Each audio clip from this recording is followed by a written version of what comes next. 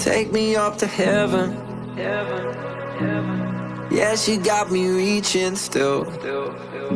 Nothing to stop me falling.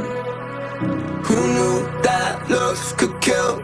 I don't wonder why I'm breathing heavy like the weight of it's on my chest. On my chest. Cause it ain't no lie. I need it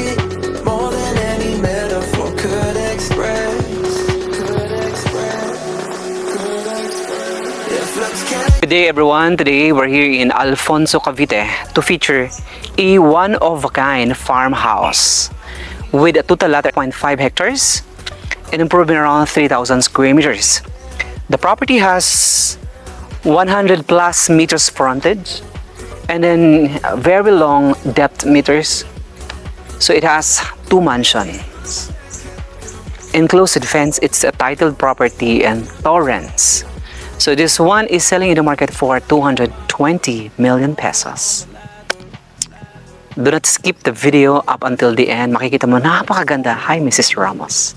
Okay, so uh, first thing is, this is the driveway that brings you to the main road. No, actually, two-lane road po siya. And then either side, you have space here wherein you can land your helicopter, right? Yes. Yeah, space for a helipad. And uh, ang taas ng fence, so you have a house here. And then right over there, you have additional space and plenty of fruit bearing trees. Okay, formerly ito is a wellness area.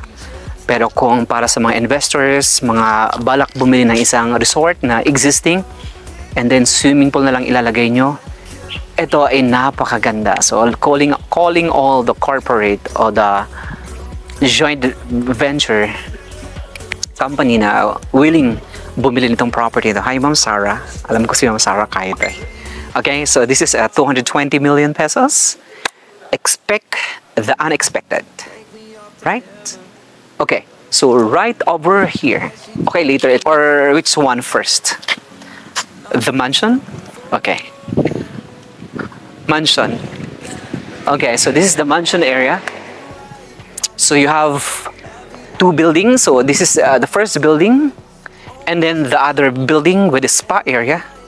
Of course, tubig is kailangan. So you have deep well area, the courtyard area, plenty of fruit bearing trees. Okay, so this is the parking area nitong mansion. O, tingnan. Over here. So the parking covered can accommodate two SUVs.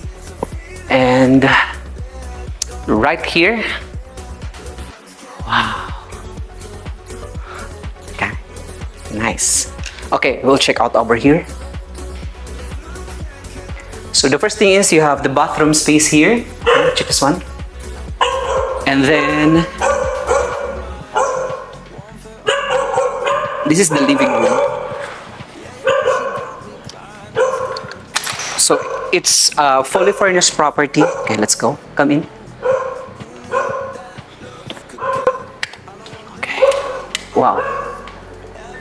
Okay, so this is the living area. So as you can see, premium mga gamit. uh, mostly galing ng Europe and uh, America.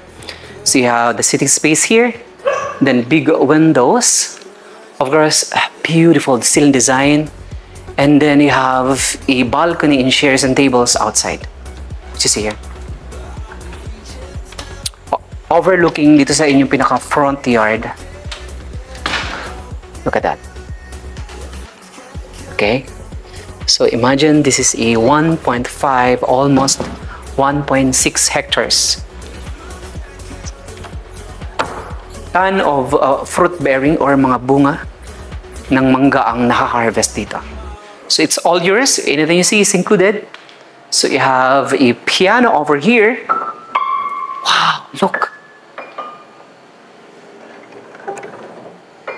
Bigay na lang sa akin to. from Austria. Okay. Right here you have the courtyard and then may mga dogs. And then uh, over here you have the hallway. Nice ceiling design, it's a mansion. So right here you have the dining area.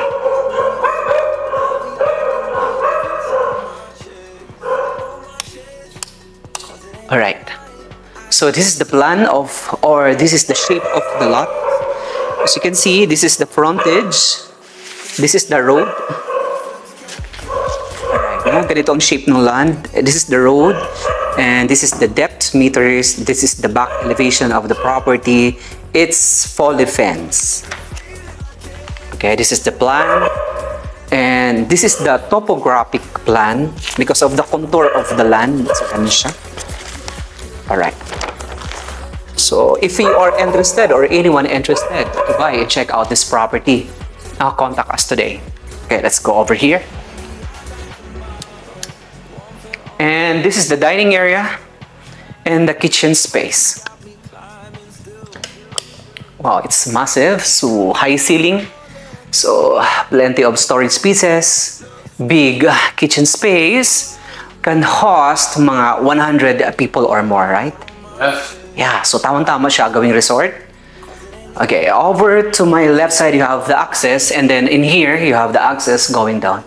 Which, okay, over here, Kasi nga ito. wala ero dyan. Wala ero dire. Adre. This is the uh, master room. So it has four rooms over here. So upon entering, Let's go inside. So you have the master bedroom, the living area. Okay, nice. Ceiling design. So very European, right? Ang ganda ng ceiling, no? And then in here, you have the bedroom. Okay. Wow. So you have the bed area. And then a big window. You have the bathroom space here. And a water closet, which is here. Look. Nice. Diba? Right, di ba? Napakaswerte natin dahil ah, meron tayong isang ah, listing broker nagdala sa atin dito sa Alfonso, Cavite. Now, this one located in Alfonso, Cavite. Now, imagine, meron palang mansion or farmhouse dito sa Alfonso. Okay. So, right here, you have the living area and then a bedroom over here again. Check this out. So you have that beds. So pwede siyang gawing hotel or Airbnb or ah, isang malaking resort. Okay, over here you have the bathroom. Okay. Pasadahan lang natin kasi sobrang laki ng property niya. So, uh, hindi siya typical na property for our regular client. So, this is totally massive. So you have plenty of beds in here. So you have a wardrobe area and storage spaces. Okay, so right here, this is the master bedroom. Check this one. Wow, upon entering, okay, I love the slab, no? So ang lalaking planks nitong mga Nara solid wood. See? Nakikita mo wala siyang mga putol. Ang lalak, ang lalaki, di ba? And then this is the bedroom area. So medyo elevated. So you have the jacuzzi area right there. I love the palette. Okay, very royal. Kasi violet, no? Medyo dark violet. So you have King Queen's uh, California King bed here with air conditioning unit. So anything you see is included. So right here. Okay, so this is your closet area and your bathroom space here. Check this out. Wow. Nice. So you have the jacuzzi, you have the wash area, water closet, and a shower space. Complete. Okay. We're not done yet. Teka lang, nalaglag. Not done yet kasi we'll check out the first level downstairs, which is here. Okay. Okay. So we're done dito sa master room. So, di ba, tamang-tama siya gawing hospital, gawing ah, resort, gawing Airbnb. Now, so you have the access here, downstairs. Additional living area and a kitchen space right over there. Let's go.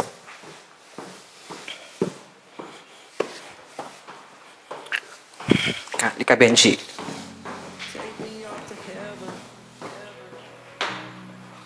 Alright. So right here you have drying area and the wash area.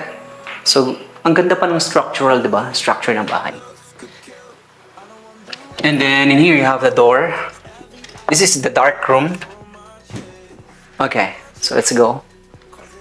So you have the hallway. Right. So over here you have the bedroom, which is here. Yeah. So you have plenty of furnitures, which is included. Okay. And then over here you have, wow, it's your beautiful living area. So you have the sitting space, wellness area. So you have appliances, and then sliding door, and a bar area over here. So, meron siyang maraming mga appliances kasi ginagawa siya ngayon as a wellness area and a holistic area, right?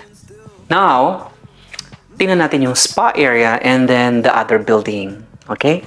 So, let's go. Back to taas. Anyway, look. So, look at the slab, no? Kasi marble finish, ang ganda. So, millions ang halaga nitong mga slab na to. Imagine, no, walang putol continuously, di ba? Malalaki ang slab. So mahal, marble finish. Now, okay, balik tayo sa taas. Your big kitchen area. So, lahat yan working. Okay, your beautiful dining area. And then you have the sliding here. Let's go out. Over here, you have the access going down. So, nandito yung mga CCTV nila. Yung kanilang technical room. Which is located dito, over here. And then, uh, steps going up, uh, going down, papunta dun sa dark room. Now, Take me up to heaven. Heaven. Okay, so imagine mo mayroon pa silang br- bridge, no?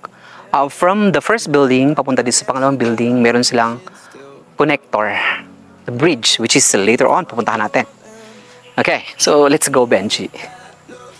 Anyway, no, if you haven't subscribed our channel, at lalo kung nag enjoy kayo sa ating YouTube channel, guys, I invite you all to hit that subscribe button and click that bell to get you notified for whenever we release new YouTube videos.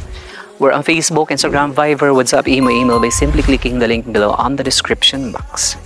Also, if you are looking for a property near Manila, so we have in Anyana and Antel Grand Village. We have house and lot packages uh, for small timer and then lot packages for regular investors. Now, let's check out the wellness area. Okay. So yung pinasukan natin, yun yung kanilang expansive area, right? Okay, tingnan natin yung medyo mid area nila. Pero, kasi uh, they have the economy area. Kumbaga ito, pagaganahin nyo na lang, no? Itutuloy nyo na lang. Okay, so then, accessible ang area. Maganda ang elevation. At malapit lang siya sa lahat. Okay? Then, tingnan natin yung academy area. This is uh, additional building. So, it has seven rooms. So, plenty of parking space. You have the basketball court in here. And then, uh, a lot of rooms right there with the fruit benches again. Okay, so right now, ito yung wellness area nila. So, as you can see, you have a island counter in here. So, dito muna tayo sa left side. So, it has uh, seven rooms. Pwede siyang gawing hospital, right? Okay, over here, you have the wash area and shower space. Okay, now, so you have wash area. He's in her sink. So you have a urinal area, the water closet completo, and then shower space here.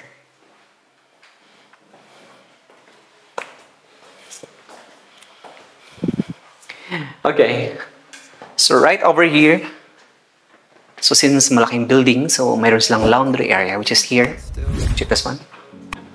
Okay, so you have laundry area, and then bathroom for the ladies' bathroom. Completo. Over here, you have the room. Okay. Wow. Wow. Look at the pictures. Collections. Saint Germain. El Moria. Port Fome. Si mga seminarista. Grabe ang mga martyr, right? Because of them, nakarating din sa atin ang good news. And then look, wow. Wow, look. Lahat tingnan nyo yung mga banal na tao, no? Grabe. Grabe yung gesture. Okay. And then over here, the second room.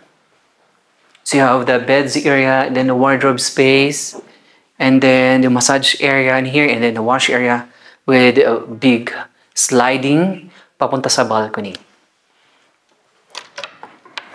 Right here, another bedroom area. So, napakaganda, di ba? Kasi from the main entrance, so you have that access, and then dito sa side, you have the access. And then access dito sa inyong balcony. Kaya, tamang-tama siya. For a hospital, or a resort, or a, bed's place. And then in here, again, you have the bed area, and a sliding door right there. Now, so this is the room, and you have the hallway. Wow, this is the massive area. The counter in here, and then your street counter right there, island counter. So ito yung kanilang ginagamit sa pag-massage, no? Ito yung massage wood, I think, sa likod. So, you have plenty of storage spaces here. Yan. So, kung titingnan mo, kumpleto na talaga siya, no? Gagamitin na lang. Ah, kumbaga, sasaluhin na lang, right? Tutuloy na lang. Okay. So, you have a access here. Now, tingnan natin sa itaas. Let's go. Up. So, I love the access kasi malapad, maluwag. So, for 100 people, kasyang-kasya ito. For that number of uh, people. Upstairs, you have the library area. Okay, check this out. So you have the sitting space, straight counter, books, anything you see is included. Anyway, you have the access going outside. Okay, over here. Okay, so you have nice bedrooms here. Okay, so this is the first room. Parquet. Wow. Diba? Going hotel. So you have sliding here and then a balcony facing some greens and your fruit bearing trees. So every bedroom has that bathroom. Something like this. Unlike the other one kasi mas extravaganza yung kabila, right? So anything you see is included. So you have a vanity counter, storage space, plus beds and sliding, and a bathroom space with a complete fixtures and features. Pictures. Okay, Japanese equipment, mostly yung kanilang mga water closets. Kasi maganda yung mga Japanese na mga toilets, right? Yes. Kasi minsan, iba sumisirit-sirit na lang, no? Okay. So, maganda yung mga imported. Over here,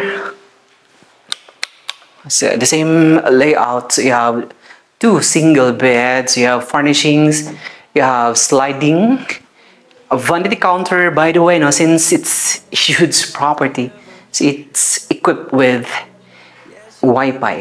Kaya may Wi-Fi na siya. So, lahat ito, kahit ganito kalaki, may Wi-Fi na siya. Kaya, there's no worry about the social media connection. So you have that connection already. You have nice bathroom. Ayan, maganda oh. Ayan, mga bago pa. Di ba? Nakikita mo naman. So if you are interested, no, para makita ino ng inyong ah, sarili, so you can uh, reach us today on the numbers visible on the screen. And then over here, so you have the bedroom again. The same layout and concepts. You have complete features sa toilets. Then you have clean and neat bedroom with sitting space.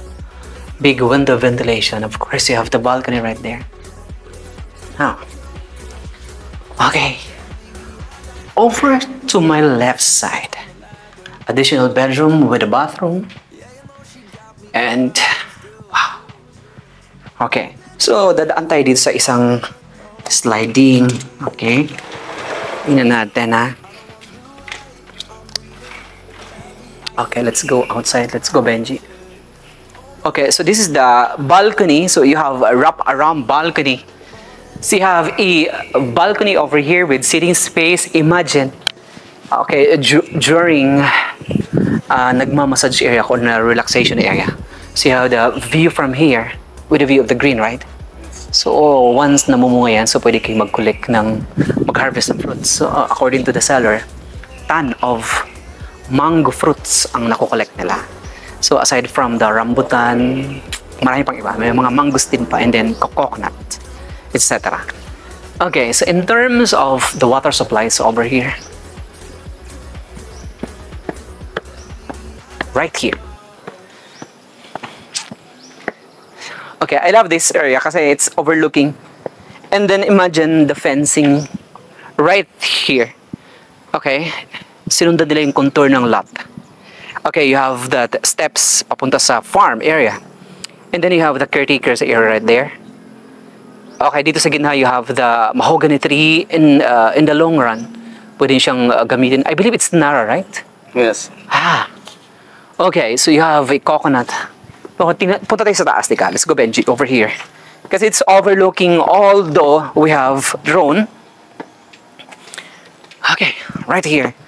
Kasi ito yung mas intimate area. Wow. okay, from here. Wow, wow, wow. Okay. Since ito yung mataas na area, so you have a fantastic view. Okay, Mountain Ridge ng Tagaytay area kasi located tayo sa Alfonso, Cavite. So to my left side, Alfonso, Tagaytay area. And then makikita mo yung mga cranes. So meaning ang daming mga structure na ginagawa right now. And then over to my dito facing ko. Okay, facing tayo ng Manila Bay area. And then dagat area na siya. Wow. And then right here, so you have, look, kasi hindi natin napasukan yan, no? yung uh, malaking balcony, no? Okay, so uh, that balcony can serve as a entertainment area or be- can be a venue area, a party area then, right? So magsaset up kayo dyan. So, mean, meaning, this property can accommodate a lot of people. Okay, pupuntahan natin yung uh, fruit-bearing trees. Let's go, Benji. Okay, dito tayo galing sa pinaka-water tank and then this is the balcony area. Ito ang mga rooms. Pero sa ilalim, it has that balcony area. So you have the bridge over here that connects no, from the first house papunta dito sa second building.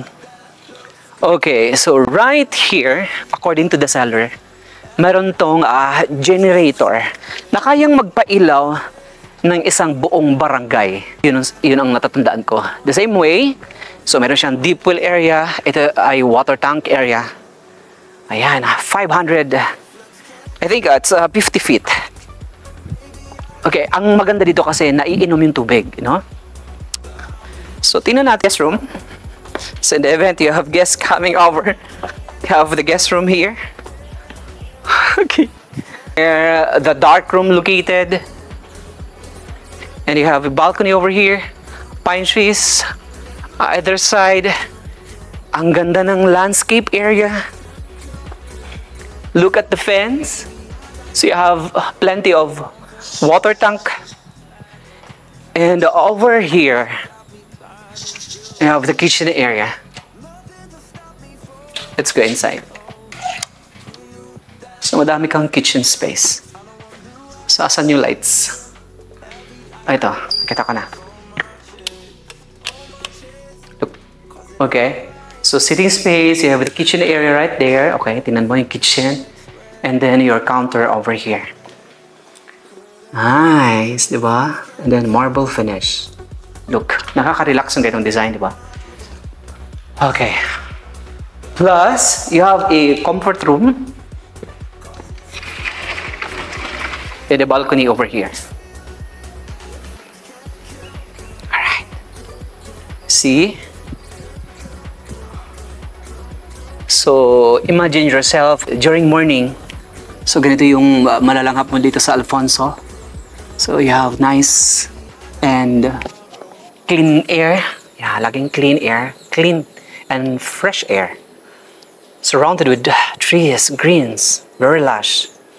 And then, the property has uh, plenty of spaces pa wherein pwede pang mag-improve, pwede pang mag uh, pa ng mga cabin or so, something swimming pool area. So you have a good lumber. Kasi I, uh, mga nara trees yan, yung mga malalaki na yan. So nara trees were in later on. Pwede nyo rin siyang uh, gawing bahay or slab or hagdanan ng inyong gagawing property. So you have nyog over here. Pwede i-cut down. Uh, pwede siyang pantukod kapag nagpapagawa kayo ng slab instead of tawag doon, yung mga scaffoldings, right? Pero sayang since it's a natural design and then beauty. Okay, we're not done yet kasi we'll check out the spa area. Kaya ito ay pinupuntahan ng maraming guests. Okay, let's go, Benji. Pupunta tayo sa taas for the spa area. Pero mas maganda dito sa area na to, guys. Imagine. Okay, so almost half ng puno kasi may feeling of land uh, before. Kasi ito, hindi talaga ito yung pinaka uh, ugat niya. So, nag-feel ng land. Kaya makikita mo, almost naging punggok na yung puno ng mangga. So, yun ang sabi ng seller. And then, right here, ito yung kanilang uh, generator area. In the event, walang power supply, yung kanilang generator can accommodate kahit isang buong barangay. Ayan, ganun kadami. And then in here, you have the spa area which is right over here okay tingnan natin yung spa okay. Over to my left side you have a balcony access from the rooms. Okay para ma-enjoy nila yung morning breeze and then makapag-meditate makapag-unwind dito sa napakagandang area. And then right here you have the spa area the jacuzzi area. Okay so kompleto so you have toilet and then shower. Wow this is the jacuzzi area okay so you have space here. Pwedeng mag-deep kahit uh, midnight kasi lahat ng hot water galing source from sa solar. And then kahit dito meron din. Bathtub area. Yan malaki. Okay imagine oh, nag-dip ka dito. And then, uh, look at your view, and then very relaxing, right? Na, di ba, Benji? Yes. Ayan. So, ayan. Napakaganda. Imagine dito. Para makita nila yung view from this end. Baba ka dito din. Upo ka dyan. right. Baba ka na konti. Upo ka para makita na yan. Yan, di ba? Di ba? Para ka nasa, para ka nasa jungle or nasa forest, forest land. Di ba? Ang ganda, di ba? Yeah. One of a kind property. Alright. So, we're done. So, before we end, B-roll muna tayo. Okay, let's go, Benji.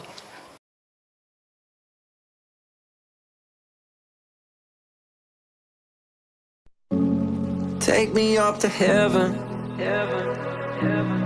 Yeah, she got me reaching still. Nothing to stop me falling. Who knew that looks could kill? I don't wonder why I'm breathing heavy like the weight of it's on my chest. On my chest. Cause it ain't no lie, I need it more than any metaphor could express. Could express, could express. If looks can't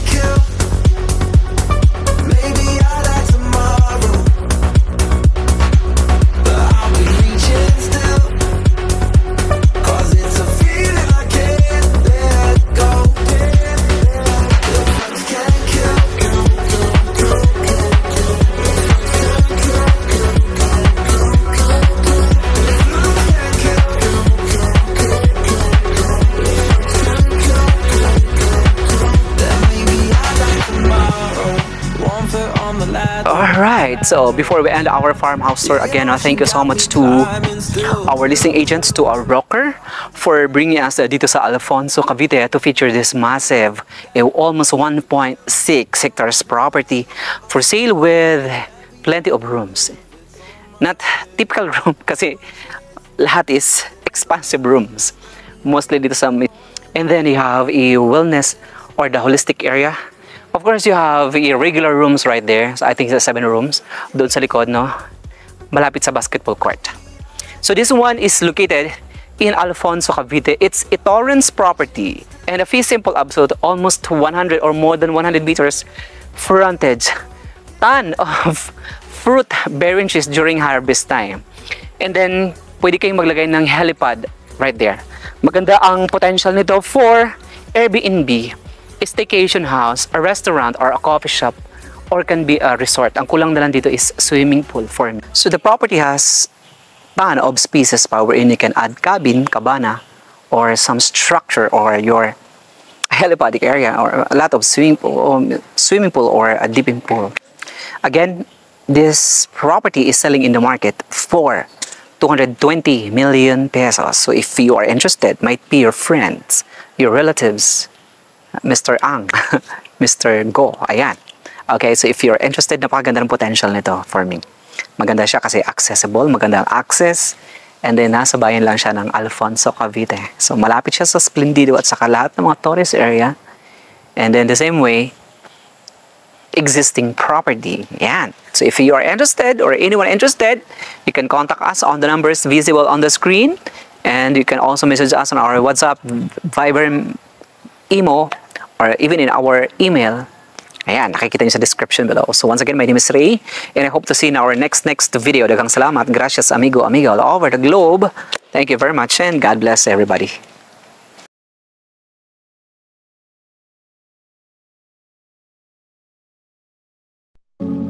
Take me up to heaven. Yeah, she got me reaching still. still, still. Nothing to stop me falling. Who knew that looks could kill? I don't wonder why I'm breathing heavy like the weight of it's on my chest. Then maybe I die tomorrow. One foot on the ladder. Yeah, you know she got me climbing still. Nothing to stop me falling. Oh, who knew that looks I don't want to. I'm breathing heavy like the weight of it's on my chest. On my chest. Cause it ain't no lie. I need it more than any metaphor could express.